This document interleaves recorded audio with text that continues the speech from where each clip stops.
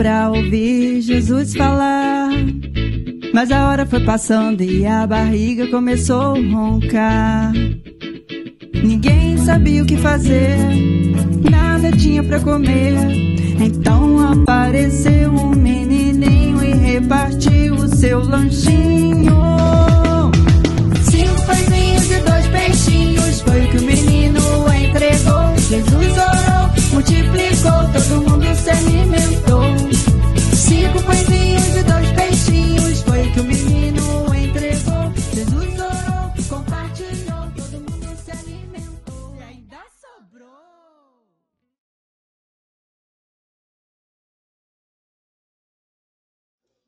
Olá, crianças, tudo bem? Hoje sou eu, tia Carol, quem vai contar uma história para vocês.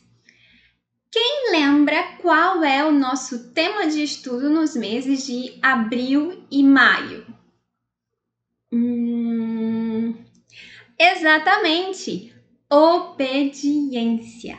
Ou seja, nós estamos aprendendo que sempre que escolhemos obedecer ou desobedecer, há uma consequência.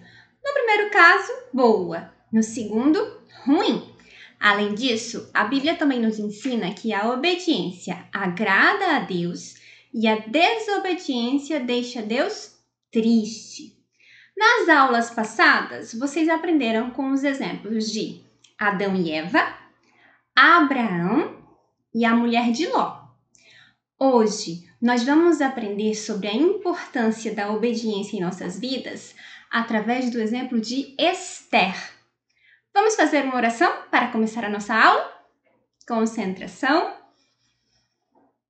Deus querido, obrigada por mais este dia em que nos reunimos para estudar a Bíblia, a Sua palavra. Por favor, nos ajude a compreender a lição.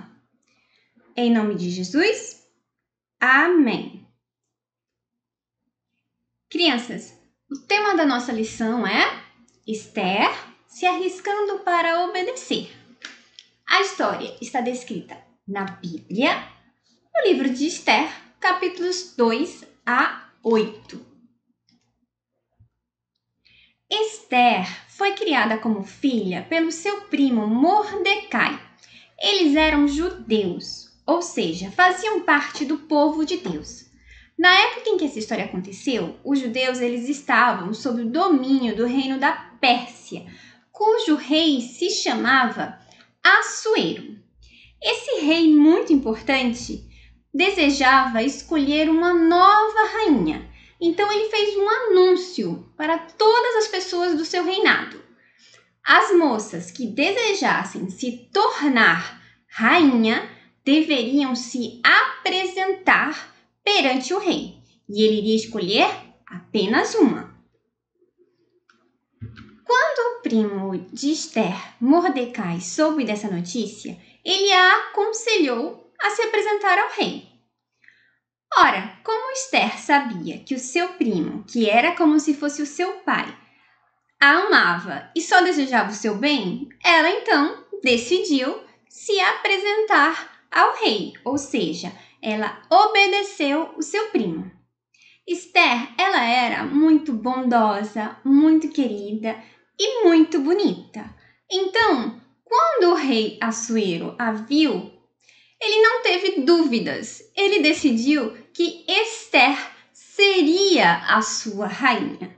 Ela foi escolhida para ser a rainha da Pérsia. Então, ela passou a viver no palácio do rei. Ao mesmo tempo em que Esther se tornava rainha, aconteceram dois fatos muito importantes. O primeiro foi o seguinte: nos arredores do palácio, o primo de Esther, Mordecai, ouviu alguns homens tramando contra o rei, ou seja, eram homens que queriam matar o rei.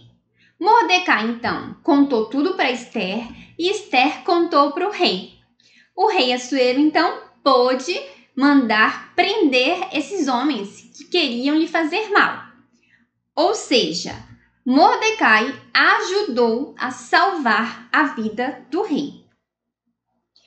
Segundo fato, além de escolher a sua rainha, Esther, o rei Assuero, ele também escolheu um homem chamado Amã para ser o seu conselheiro, ou seja, alguém que iria ajudá-lo a governar todas as pessoas.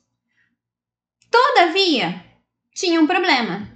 Amã não era uma boa pessoa, ele não tinha caráter, era um homem muito orgulhoso e mau. Ele se achava melhor do que todas as pessoas, ele se achava muito importante. E ele exigia que todos se prostrassem, se ajoelhassem perante ele. Ele não gostava dos judeus, especialmente de Mordecai, primo de Esther, porque eles não se ajoelhavam para Amã.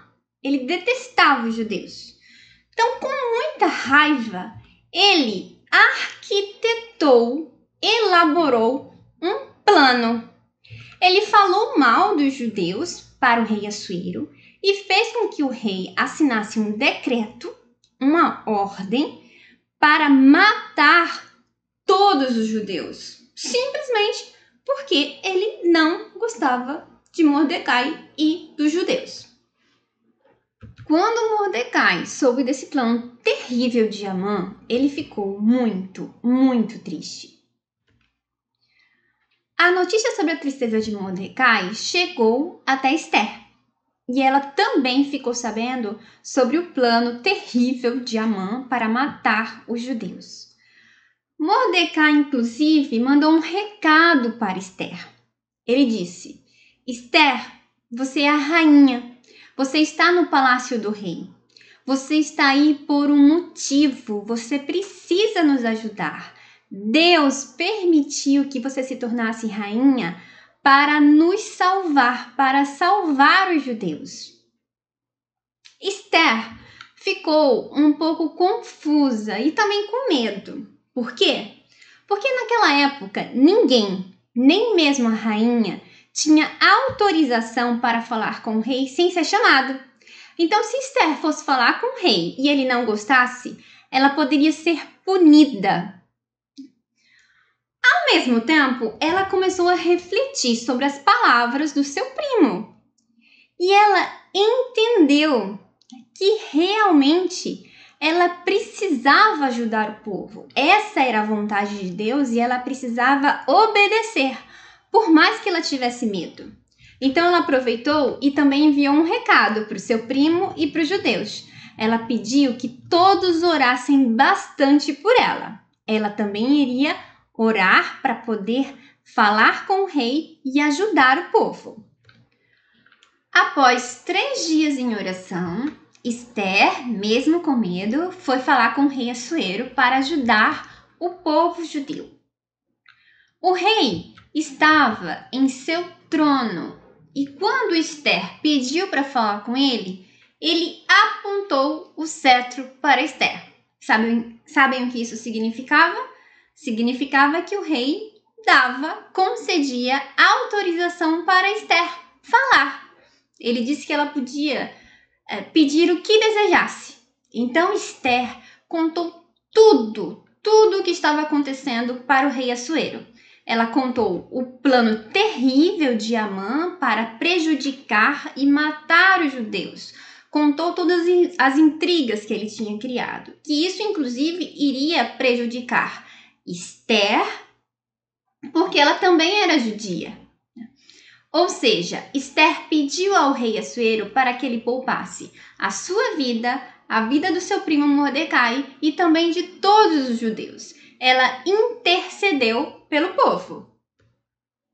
Quando o rei soube do plano de Amã, ele tratou de resolver a situação rapidamente, pois ele não poderia ter como conselheiro um homem perverso e traiçoeiro. Então ele decidiu punir Amã. Sabem o que aconteceu? Qual foi o final da história? Além de Amã ser punido, os judeus foram salvos e Mordecai se tornou o conselheiro do rei. Graças a Esther, uma rainha muito corajosa que obedeceu e confiou em Deus, mesmo estando com medo, os judeus foram salvos. Assim como Esther, nós devemos buscar entender qual é a vontade de Deus para as nossas vidas e obedecer. Como fazemos isso? Orando, lendo a Bíblia. Um exemplo prático: a Bíblia nos ensina que nós devemos obedecer aos nossos pais. É um mandamento. Então, se somos obedientes, Deus fica feliz. Um versículo também da Bíblia, que está em Josué, capítulo 1, 16. Tudo quanto nos ordenaste, faremos, e aonde quer que nos enviares, iremos. Sejamos, pois, obedientes. Confiemos em Deus. Vamos fazer uma oração para encerrar a nossa aula? Concentração. Papai do céu, muito obrigada por nos ensinar a importância de obedecer. Ajuda-nos a obedecer aos nossos pais e a entender a tua vontade para as nossas vidas, especialmente em um momento tão importante em que precisamos cumprir muitas regras para cuidar da nossa saúde e da saúde de todas as pessoas, como, por exemplo, usar máscara, lavar as mãos sempre que possível, ficar em casa também quando é possível. Obrigada por cuidar de cada um de nós e das nossas famílias. Em nome de Jesus, amém. Crianças, não esqueçam de fazer a lição que foi enviada para vocês, ok? Um beijinho e um abracinho para cada um. Tchau!